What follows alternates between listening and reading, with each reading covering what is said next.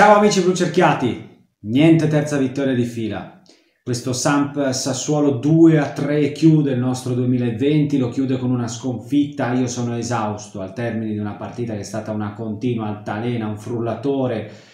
stappata subito da questo gol che abbiamo gentilmente regalato. E per carità può succedere l'errore di Tonelli un po' più inquietante secondo me entriamo subito nell'analisi della partita la distanza che c'è in quel momento tra Tonelli e Colley lì si infila Caputo nasce il gol dell'1-0 del Sassuolo eh, di Traoré dopodiché la Sampdoria gioca un primo tempo secondo me bellissimo creando un sacco di occasioni e spegnendo sul nascere il palleggio proverbiale del Sassuolo di De Zerbi che appunto nel primo tempo soffre tanto eh, il nostro pressing e la Samp crea non realizza eh, l'1-1 sembra una partita davvero stregata che invece sembra girare nel secondo tempo col pari trovato finalmente da Quagliarella. Lì, secondo me, l'errore più grave di questa partita, e cioè la gestione dopo il pareggio. L'aveva detto anche dopo la partita contro il Crotone, mister Ranieri, che a un certo punto, quando la partita dal punto di vista psicologico si mette meglio,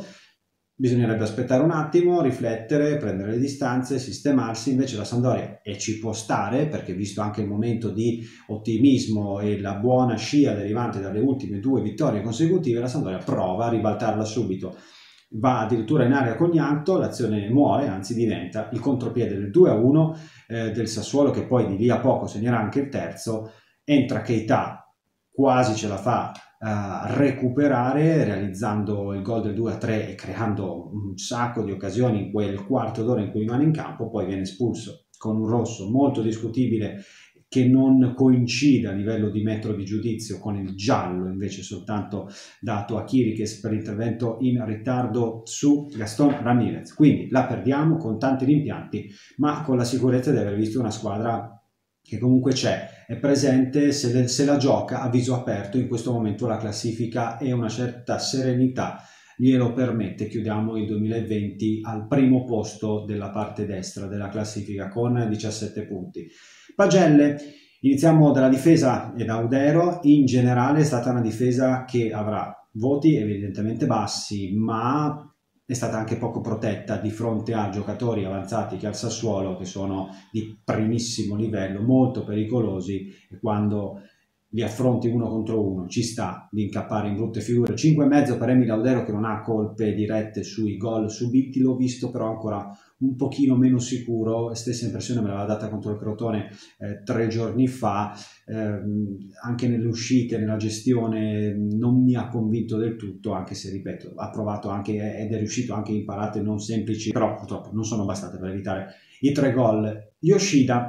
voto 5, ha giocato come terzino destro, all'inizio c'era il dubbio vedendo l'11 titolare se sarebbe stata una difesa 3 oppure una difesa 4 con terzino destro Yoshida, così è stato come negli ultimi minuti del match contro il Crotone, fatto fatica il giapponese che comunque ha eh, confezionato l'assist per il gol dell'1-1 di Quagliarella, o il passaggio, diciamo, rifinitura con un passaggio di sinistro, dopodiché da quella parte agiva Boga che ha fatto una partita in cui ha fatto a fette in realtà tutta la nostra difesa quando partiva palla al piede, non abbiamo la colpa soltanto giapponese, ma insomma una partita non esattamente da ricordare, così come non è da ricordare la partita di Lorenzo Tonelli che inizia malissimo, 5 anche per lui, il rinvio sbagliato che accende proprio la giocata di Boga è veramente da errore, da matita blu come si diceva una volta, poi comunque secondo me è bravo a restare mentalmente in partita e a arginare alcuni contropiede, alcuni gliela, gliela, gli regalano palle ai giocatori del Sassuolo che sbagliano le scelte, altri è bravo lui a leggere le situazioni e sbrogliarle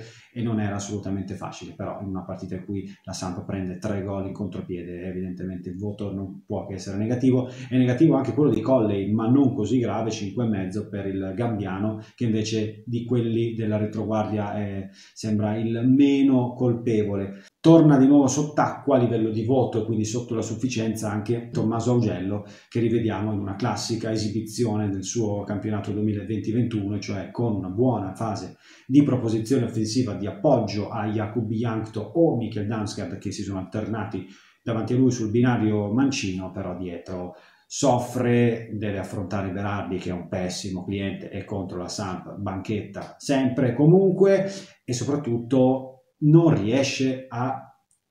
buttare via quel pallone che ballonzola nell'area piccola permettendo proprio a Berardi di, fare, di segnare quel gol che alla fine risulterà molto pesante e determinante. Centrocampo abbiamo detto di Jakubianto che parte a destra, conclude a sinistra, gioca la maggior parte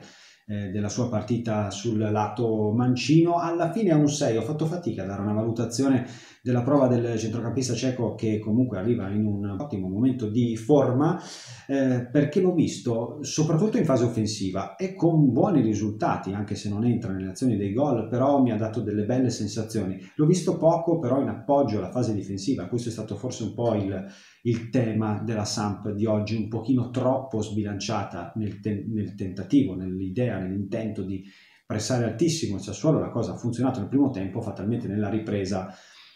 aumentando la stanchezza e la pressione riusciva in modo meno puntuale, il Sassuolo è arrivato più facilmente dalle parti della nostra area. Ekdal 6,5, uno dei migliori della Samp, non il migliore in campo perché il migliore in campo è un giocatore con la maglia numero 10 che è subentrato e che è stato purtroppo anche espulso, però è continua la striscia positiva del nostro leader del centrocampo svedese, solito apporto di qualità nella manovra, protezione della difesa, nonostante il palleggio del Sassuolo rischi di far venire mal di testa, ma la Samp regge anche grazie a Ekdal che viene innescato da Keita e va anche vicino al gol. E comunque eh, bene ancora una volta Albin. Preoccupazione invece per Torsby che lascia presto la contesa, speriamo nulla di grave, senza voto il norvegese.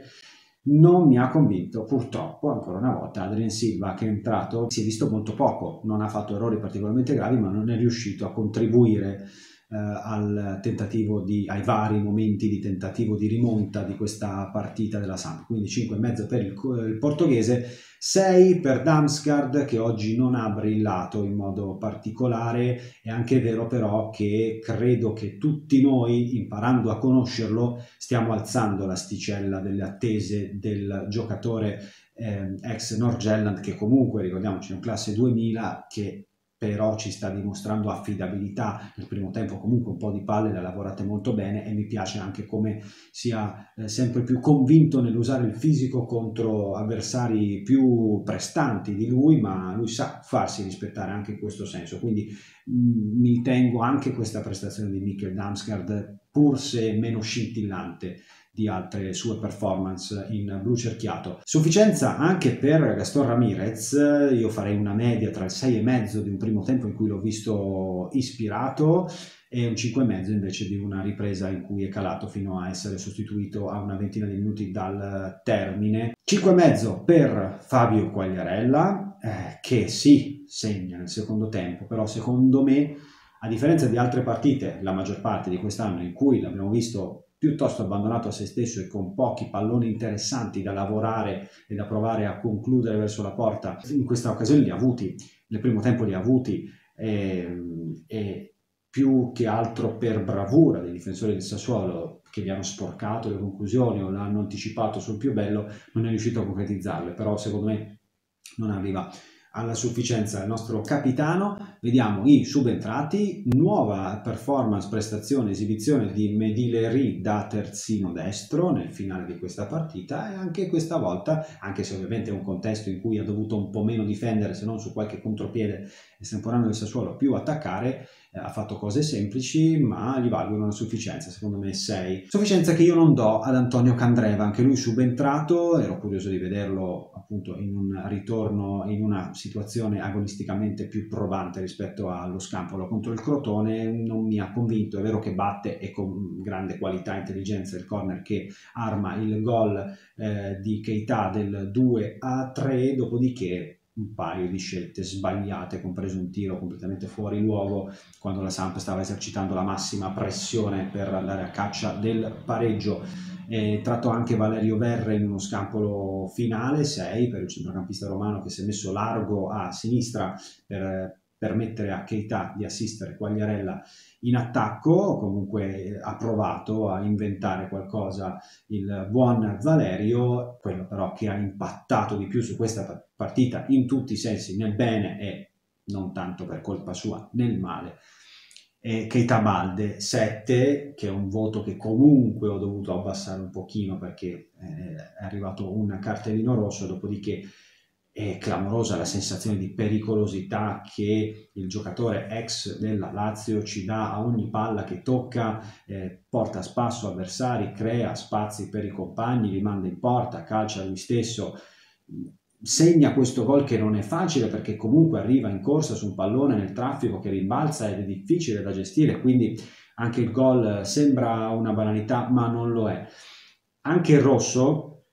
che subisce per un fallo che effettivamente anche a me a velocità naturale, forse perché appena ho sentito il fischio, ho visto l'intervento di Chietà, ho visto la corsa dell'arbitro molto convinta, mi aveva dato subito eh, l'impressione di essere qualcosa di più di un cartellino giallo, è anche vero che però questa interpretazione, come dicevamo, cozza con quella del giallo a Kirikes che arriva in ritardo, ma insomma, purtroppo la cosa più